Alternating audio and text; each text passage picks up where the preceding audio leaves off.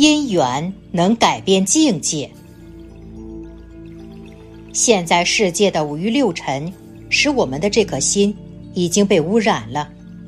五欲带来了烦恼，六尘带来了障碍，使我们的这颗心离开菩萨、离开佛越来越远。人的一辈子为什么会经历很多的遗憾呢？主要是心灵失去了寄托，所渴望的事情成了幻想，成了幻影。我一定要怎么样？我一定要怎么样？结果没有成功，失望了，一辈子会有很多遗憾的事情，因为没有智慧。当这个世界发生事情的时候，我们就无法运用自如的去应付和解决它，人就会产生遗憾。所以，学佛心灵要依托菩萨，应付问题要慢慢的。学佛的智慧，学佛的智慧先要定，后能静，然后才会产生智慧。不取不舍，一切法不可得，无得无失啊！不取不舍是什么意思呢？师傅刚才讲了，对人间的一切东西，不要去欢喜，不要去得到它。一切法不可得是什么意思呢？因为我们是在法界。法界的一切名利，你都不要去争，不要去抢。很多妈妈离婚的时候，非要把这个孩子带在身边，结果妈妈没有能力，这个孩子待在妈妈身边很苦。有的妈妈很有智慧，知道孩子的父亲很有钱，父亲在经济上，在企业管理上非常有本事，只不过他有另外的女人了，所以。妈妈在离婚的时候，考虑到孩子的未来，毅然决定把孩子交给了父亲。结果等孩子长大了，孩子很成功，很有教养，他永远不会忘记生他养他的母亲，最后还是会来找他的母亲。这就是一个有智慧的母亲。那个死缠着，不让自己的孩子离开自己的母亲。最后呢，孩子跟着妈妈吃很多苦，妈妈哭，孩子在边上抱着妈妈说：“妈妈，你不要哭啊，等我长大了，我一定会对你好的，我一定会养你的。”结果妈妈病倒，孩子没钱上课，你不是害了孩子吗？就是你没有能力呀。师傅对你们好，如果师傅不严格管教你们。如果纵容你们，你们以后一定会好吗？师傅把自己的能量修得大一点，以后用自己的功德来庇荫你们，师傅才能多救几个人啊！人要懂得，不可得，不该你得到的，你不要去得，无得无失啊！来到人间，就这么一个身体，离开人间。也就是这么一个身体，你得到什么了？你失去什么了？想开一点吧。借来的钱丢掉了，失败了就是丢失了。一切因缘最重要学会的事情，就是吃亏。实际上，一切都是因缘，就是你有这个因。一切法均是因缘啊，因缘不好，强求不顺。你想想看，你跟这个人没有感情，你非要跟他去做什么事情？你说人家会给你好脸色看吗？你明明跟他没有缘分，你非要跟他怎么样？你说，你怎么不会碰一鼻子灰呢？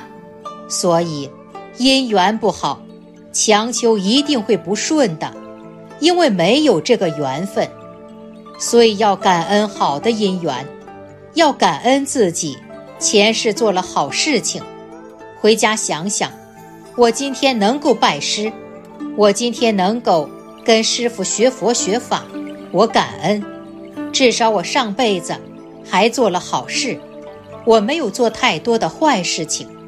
如果我上辈子太坏的话，我这辈子怎么可能有这么好的佛缘啊？在末法时期，我能够碰到这么好的法门，我感恩啊，自己想想都开心，说明我上辈子不是很坏的人。学佛人也要感恩坏的因缘，因为有坏的因缘来了，说明你上辈子做了一些坏事。我为什么上辈子要做坏事呢？所以我这辈子。坚决不能再做坏事了，要感悟人生啊！为什么有的人这辈子就是没钱呢？因为我上辈子没有积德，没有布施。你看我现在还不肯积德，还不肯布施，下辈子我哪来的钱啊？对不对？想一想，不要自卑。投胎投在好的人家，他上辈子。就是有修，相貌端正的人上辈子就是有修。佛前供花，脸相都会善良。看到人家寿命长的，要知道，人家上辈子放生了多少啊？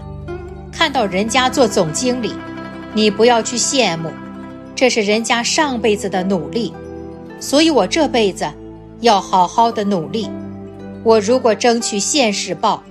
不管善恶，我现在就能够得到。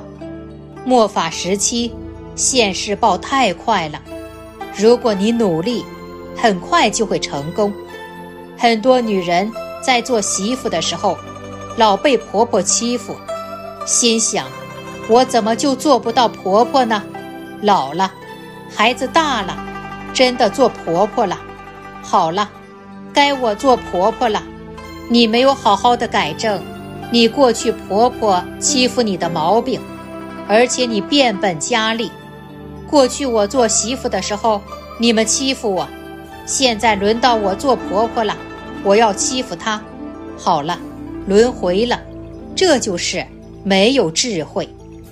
你们要从这一世的恶缘当中悟到这个缘。这一辈子，我为什么跟他讲话，他都不听？这一辈子，我为什么跟他就没有这个缘分呢？要开悟，从独觉到圆觉，这是什么意思呢？你开悟了之后，你是自己有一点感觉，一个人感觉，这叫独觉。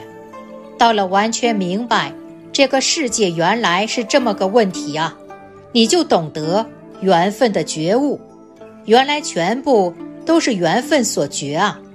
所以要感恩这个因缘，让我开悟。